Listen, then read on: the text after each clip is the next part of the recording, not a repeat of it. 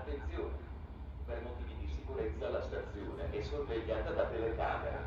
I bagagli incustoditi saranno controllati dalla polizia ferroviaria.